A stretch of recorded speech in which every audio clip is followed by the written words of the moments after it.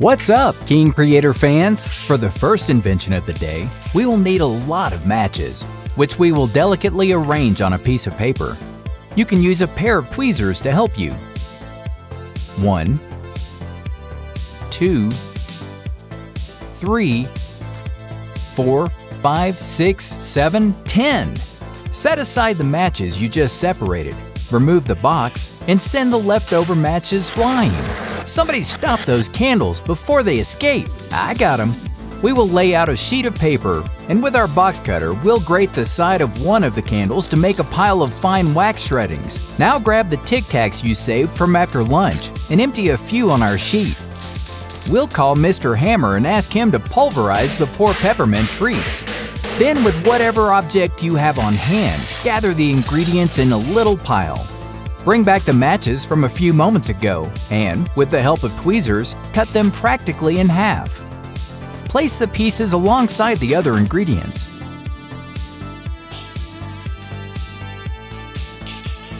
With the help of a popsicle stick or any elongated object, you can group everything together in the center by moving the paper like you see here on the screen. I hope you don't want to throw away those matches because we will need two of the box lids next. Cut out one of the wide parts with a pair of scissors, and repeat the same step with the other box. Now, with the help of your favorite instant glue, we will join them together like this. We're also going to be using the container portion from both boxes. Those we're going to cut off one of the shorter sides. Do this same thing to both boxes. Then we'll attach these together so they form one piece. We will take both pieces and insert the one that only has a hole on the other part, creating what in the supermarket they would advertise as a jumbo box of matches. We will fill the new box with our combination of ingredients that we made in the beginning. By the way, I did mention we would need to prepare even more of this stuff, right? Borrow the massive pile of keys that your dad carries and remove one of those metal key rings. Your dad won't need it. We will cut out one of the scratchy sides from the matchbox. And we will fold it in half like this. Be sure to hit subscribe and like this video. With instant glue, we'll join the scraper to the metal ring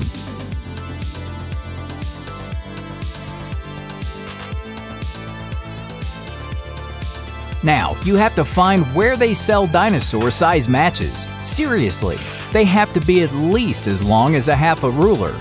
We're going to need four of these matches. Use the jumbo box of matches that we created and measure the big matches against its height.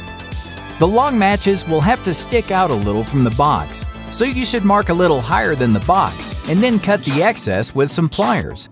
Put them together like you see here, and with the help of two elastic bands, you will secure them at the top and the bottom, preventing them from separating. My mother threatened to tie my brothers and me up like that when we fought.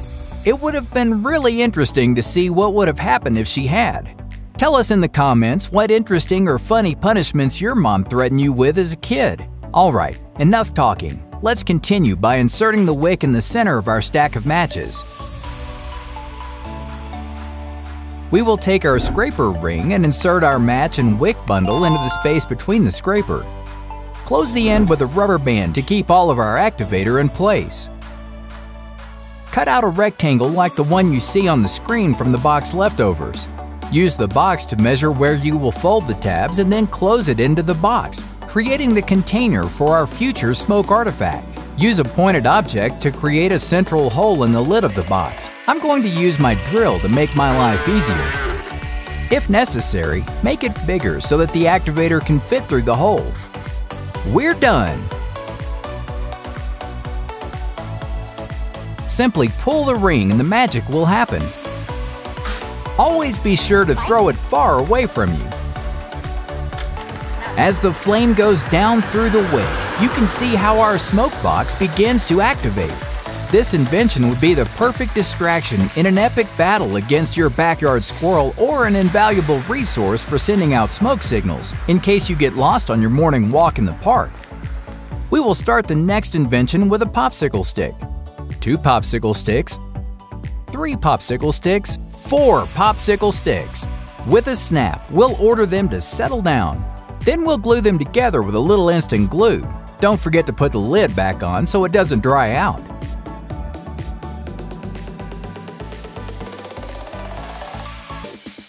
With our table of popsicle sticks ready, we will proceed to take a well-deserved rest with an icy cold soda. As usual, I will have a Coke served in a glass.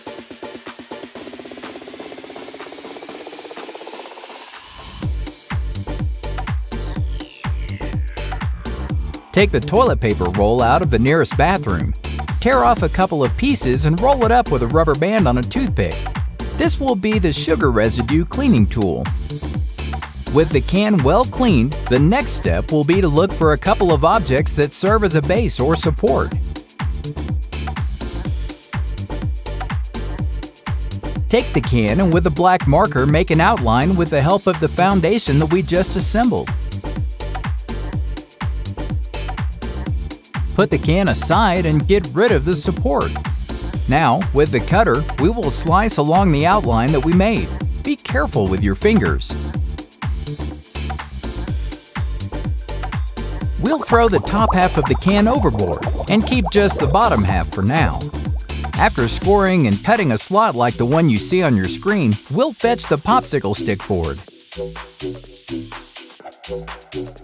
We will put the aluminum can on the table and make an outline just to have a guide as to where to place the hot glue on the wooden base.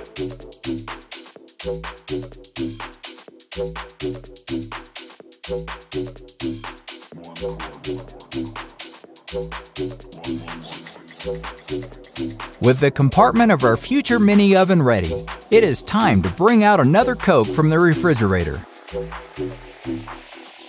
We'll cut it like so and get rid of the excess. Back to our oven. It's time to layer some super glue on top and join it with the new can. It's time to bring out the most powerful, sticky stuff on the planet, duct tape. It is a formidable opponent when it comes to opening packages. Cut a thin piece and put it where both cans meet to reinforce them. I assure you that with this combination of glue and duct tape, they will never come apart. Mark the area to be cut out with a permanent marker. This slot will be where we insert the delicious pizzas. Hold the whole invention steady with one hand and aim a strong blow at the area you've cut. The little door works perfectly.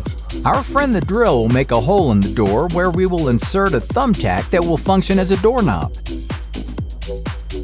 Our mini oven is ready, but we cannot start preparing delicious pizzas like an Italian chef without first having something that helps us put them in the oven.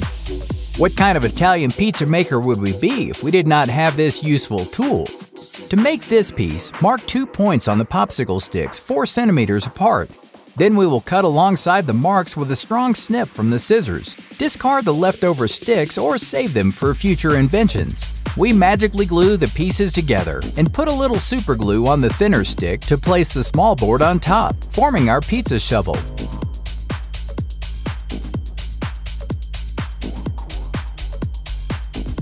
We'll only need one candle. To prep the mini oven, light the candle and put it in the lower compartment. For the purpose of this invention, I got gourmet mini pizzas that you can definitely eat in one bite.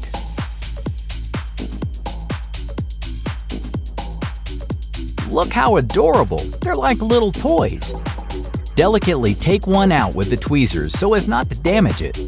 Bring the mini oven closer Put the mini pizza on the mini shovel. Open the mini door and put it inside.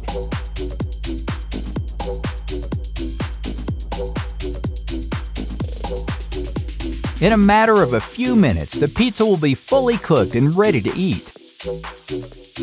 It looks delicious. The grated cheese, the crunchy dough, and the steam from just coming out of the oven. Bon appetit! For the next invention, we opted to buy a pack of sticks instead of eating ice cream every time we came up with a new invention. I was already worrying about the enormous amount of sugar I was ingesting. With tiny pocket knife scissors, we'll cut the template of our professional launcher. We have to divide the design into its different parts since we'll be making all of the pieces separately.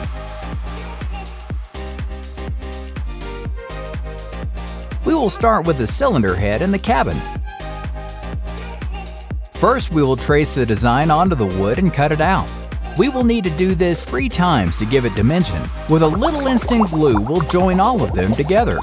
We will use a technique that is the bread and butter of carpenters around the world. It consists of holding a piece of wood well with clamps, or in our case, clothespins. Then we will be sanding them down, making it as clean a line as possible. Once the wood has formed the shape we want and the edges are as smooth as a baby's bottom, we will glue on this small piece that you can see on the screen with a lot of glue. We'll glue on two more sticks.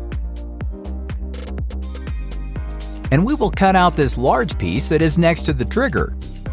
Then we'll trace its outline on the wood. Use the same popsicle stick for the cartridge as well. We will repeat the same procedure of cutting and sanding the wood to obtain both pieces.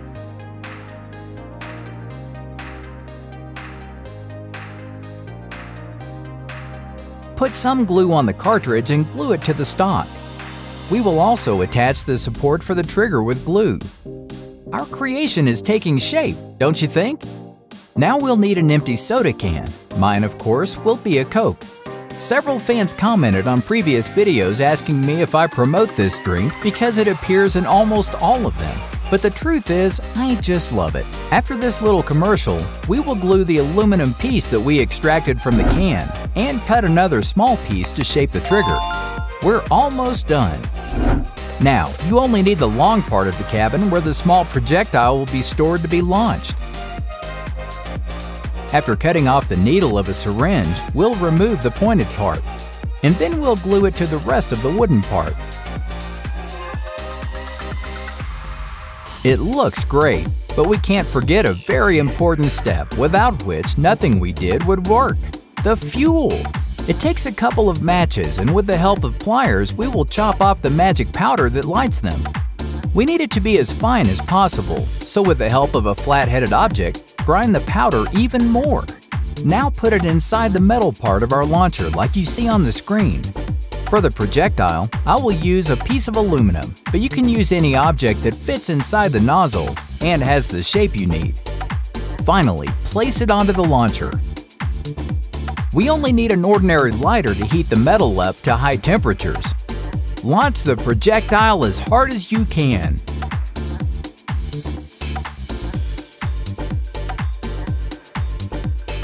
Thanks for watching our inventions made out of household items today. Follow my channel if you'd like to learn more about making simple yet incredible inventions. Also, click on the link to see more videos about my amazing inventions. Click on the link to subscribe to my channel so that you don't miss any of my videos.